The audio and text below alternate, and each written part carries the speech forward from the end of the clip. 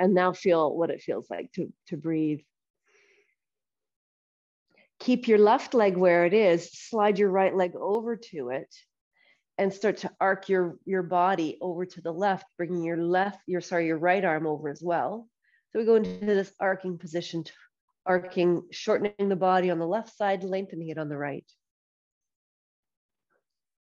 and then come back into the middle, open up into your starfish again, and do the same to the other side. So left leg travels over to the right, left arm comes over to the right, and your body arcs and lengthens on the right side and shortens on the, sorry, on the left side and shortens on the right. And breathe, feel what it feels like and then come back into the middle and let's alternate, maybe a little bit faster than that.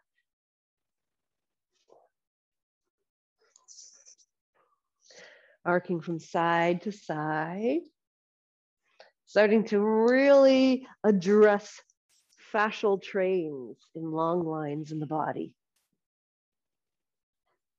From side to side. How far you go, it's totally up to you. You get to decide everything about the practice today. You get to decide whether you're going to follow what I'm saying or not. Let's do one more on each side, whichever side you want a little bit longer with, make that your last one.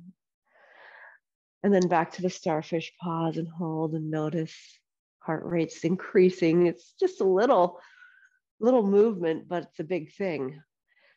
Okay, then we're going to repeat that. So keep the left, but I'm going to add on. So keep your left leg there. If you want to, you can you can peek at me and see how I'm doing this, or just follow along if you if you understand what I'm saying. Left leg stays there. Right leg slides over. Right arm slides over. And then once you're on your in your arc, let roll right over onto your left side and curl up into a ball on your side. I'm just going to hold it so you can see. And then guess what? We're going right back out to the starfish. And then we do the same thing on the other side. Go into the side bend first, and then curl into your little fetal position on the side. And then open back up. I know, very unorthodox. side bend, fetal.